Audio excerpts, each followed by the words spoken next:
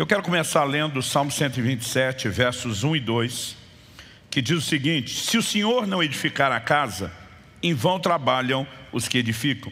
Se o Senhor não guardar a cidade, em vão vigia a sentinela. Será inútil levantar de madrugada, dormir tarde, comer o pão que conseguiram com tanto esforço.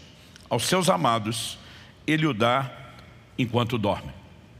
Obviamente, aquilo que diz respeito à parte de Deus não anula a nossa. Quando a Bíblia está dizendo, se o Senhor não edificar a casa, em vão trabalhos que edificam, né? não está dizendo que por Deus edificar, nós não deveríamos ter nenhum papel nisso. Mas que nós não deveríamos imaginar edificar a casa. Edificar a casa aqui não é assentar tijolo, não é construir o prédio, né? diz respeito à forma como conduzimos nossas famílias. Mas se o Senhor não participar, se nós não trouxermos para dentro da nossa vida familiar, o nosso esforço pode resultar em nada.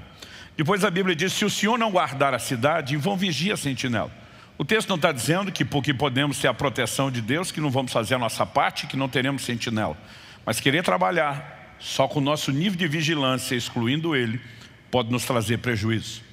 E é depois de deixar bem clara essa ideia, que vem com vários exemplos, que o escritor, o salmista pelo Espírito Santo diz, será inútil levantar de madrugada, outra versão diz cedo, dormir tarde, né? Está falando de uma jornada longa de trabalho.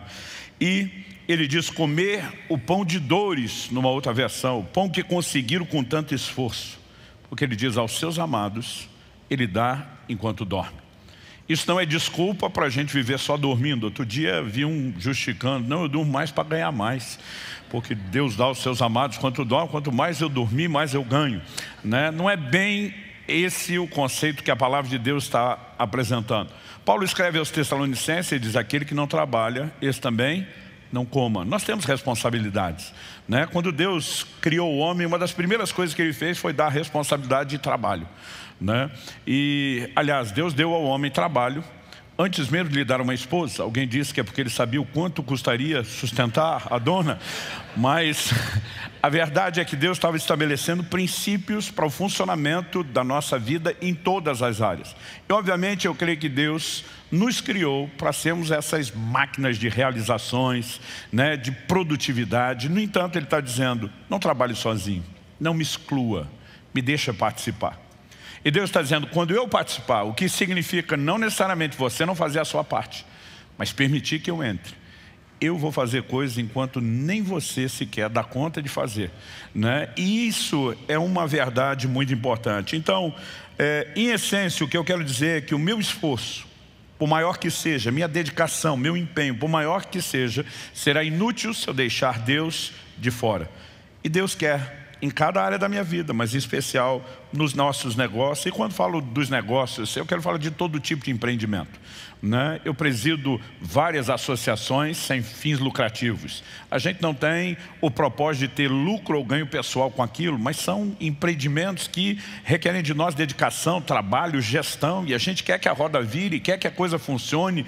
E eu quero deixar aqui tudo o que possa caber dentro dessa declaração para mim e para você. E Deus quer que eu e você possamos reconhecê-lo como não apenas parte, mas a parte determinante do sucesso nos nossos negócios. Em Deuteronômio, no capítulo 8, nos versículos 17 e 18, Deus diz, portanto não pensem, a minha força e o poder do meu braço me conseguiram essas riquezas. Pelo contrário, lembrem-se do Senhor seu Deus, porque é Ele quem lhes dá força para conseguir riquezas, para confirmar a aliança que, sob juramento, prometeu aos pais de vocês, como hoje se vê.